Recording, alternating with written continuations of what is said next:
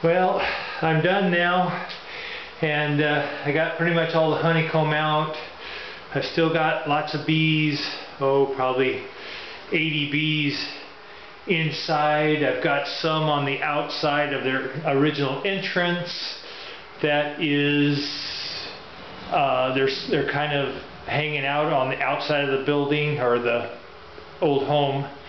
Uh, so I think I'm going to go get my uh, bee vacuum and suck up the rest of these and uh, hopefully that'll take care of it and then set them on their new home back at my place where they got lots of nectar to go for.